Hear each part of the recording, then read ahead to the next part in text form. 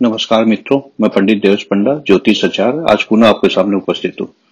मित्रों, आज हम बात करने वाले हैं चौदह मुखी रुद्राक्ष के बारे में। यदि आप अपने जीवन में कभी चौदह मुखी रुद्राक्ष धारण करेंगे तो आपको किन किन लाभों की प्राप्ति होगी, इसको थोड़ा हम समझ लेते हैं।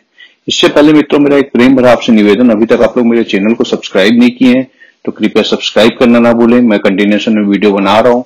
कृपया लाइक करें, कमेंट्स करें, शेयर करें, अपनी राय ज़रूर दें मित्रों, जिससे मैं अपनी वीडियो को और अच्छा बना पाऊँ।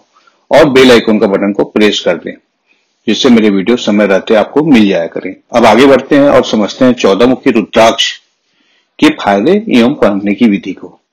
चौदह मुखी रुद्राक्ष भगवान शिव को सबसे ज़्यादा प्रिय होता है मित्रों।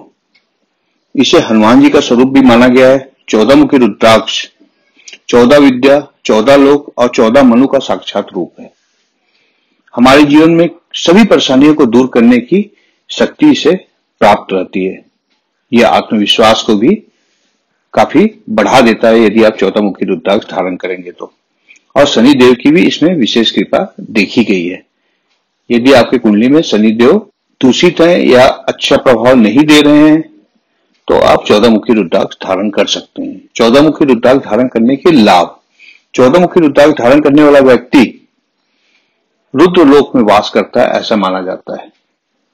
जो लोग शनि दोष से पीड़ित हैं, उन्हें चौदह मुखी रुद्राक्ष धारण करना चाहिए। मैंने पहले भी आपको भी बताया है।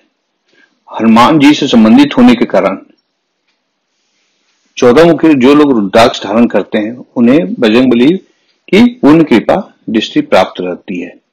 चौदह मुखी रुद्राक्ष धारण करने वाले जातक को जादू टोना का और ब्लैक मैजिक का भय नहीं रहता। सबसे बड़ी विशेषता चौदह मुखी रुद्राक्ष की यह है कि यदि आप चौदह मुखी रुद्राक्ष धारण करते हैं तो कभी भी आपको जेल नहीं जाना पड़ेगा। ऐसा माना गया है चौदह मुखी रुद्राक्ष के साथ। भगवान शिव भी चौदह मुखी रुद्राक्ष को धारण करते हैं, इसलिए इसका अत्यंत ही महत्व है जीवन में।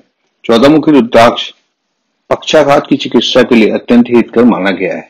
आप जब भी चौदह मुखी रुद्राक्ष धारण करें, ओम नमः नमः शिवाय का जप करते हुए इसे धारण करें और निरंतर इसकी एक माला ज़रूर जप करें। ऐसा करने से आप देखेंगे कि आपको जीवन में अनेकानेक लाभ लाभ की प्राप्ति होगी मित्रों।